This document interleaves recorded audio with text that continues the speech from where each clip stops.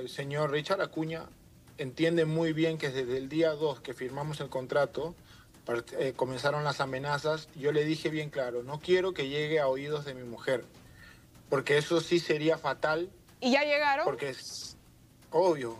por eso fue la determinación y mi confirmación de que yo no iba a, cumplir con mi contrato porque, o sea, mi mujer no quiere ir a... ¿Podrían ejecutar una penalidad?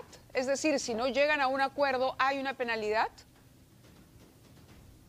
¿Cómo hay una penalidad? No, no hay penalidad. ¿No hay penalidad? Es decir, un dinero que tú tendrías que pagar por no cumplir con el contrato. Pero ¿por, qué yo tendría que pagar si, o sea, Universidad Vallejo yo no, me ha pagado a mí ni un sol? No hay penalidad.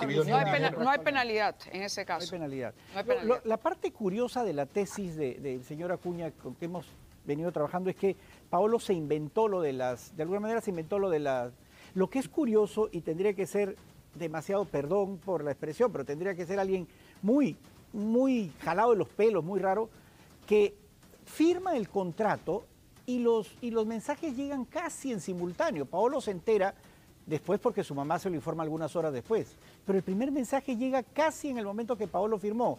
Entonces, no tendría sentido. ¿Para qué se va a inventar eso? No firma y así de sencillo. Claro, claro, que es lo que también, eh, a ver, desde el otro lado se pregunta, ¿no? Porque, eh, a ver, Trujillo sí está hoy por hoy digamos, eh, en el foco, está en estado de emergencia la región la libertad. Es más, la inseguridad en el Perú está tremenda. Le estamos reclamando al ministro del Interior todos los días que haga algo, porque la verdad, esto nos apena muchísimo. Es decir, que un jugador de tu talla no pueda participar de la liga por un problema de inseguridad ciudadana y que no se le pueda garantizar a tu madre tranquilidad, ni a ti, ni a tu familia, la verdad es alarmante. Pero volviendo al tema legal, ¿qué le ¿Cuál sería tu propuesta para Richard Acuña para llegar a un acuerdo? ¿Cómo le tenderías la mano y le dirías, mira, vamos a resolverlo de esta manera?